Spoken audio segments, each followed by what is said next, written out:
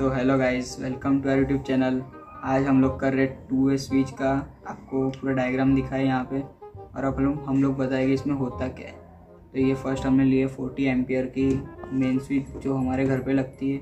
उसमें से दो पॉइंट निकल रहे एक तो है न्यूट्रल और एक है फेस और हम, और बाद में यहाँ पे लिया एक बल्ब जो है नौ वोल्ट का। और उसमें एडेप्टर जो लगता है होल्डर जो लगता है अपने घर पे। और यहाँ पे हम लोग बताएँगे आपको इसमें वर्क कैसे कर रही है टू वे स्विच आपके घर पे।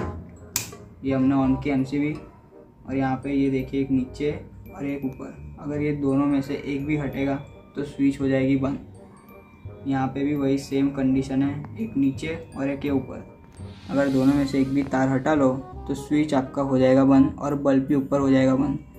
जैसे कि आप यहाँ पे टेरेस पे खड़े हो, और आप नीचे उतर गए और आपने बल्ब बंद करना भूल गए तो नीचे से अगर आप ये स्विच बंद कर दोगे अगर स्विच बंद कर दोगे तो ऊपर से बल्ब हो जाएगा बंद।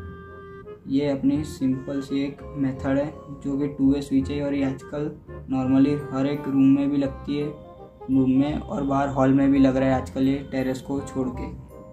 Thank you for watching this video like करो शेयर करो और सब्सक्राइब कर देना।